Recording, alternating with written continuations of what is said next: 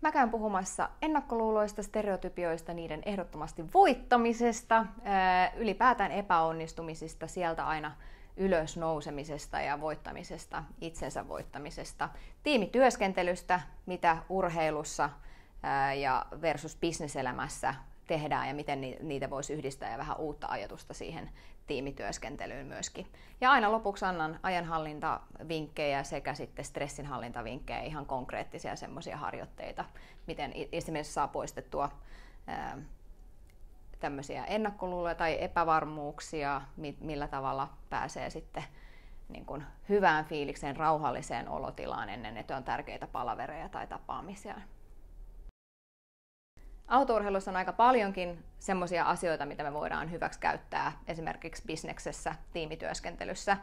Me ollaan yleensä totuttu siihen, että hyvä tiimipäällikkö tai hyvä valmentaja on semmoinen, joka saa huononkin tiimin pelaamaan ja voittamaan paljon niin kuin parempansa.